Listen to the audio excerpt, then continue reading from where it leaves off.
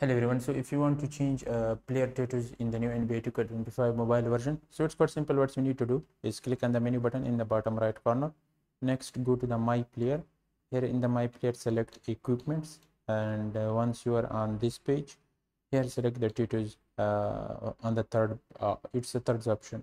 So uh, currently they have only uh, one tutus, or it's just me that I have only one tutus so uh, but this is how you will be able to uh, get or change uh, tutus in the new NBA 2K25 mobile version.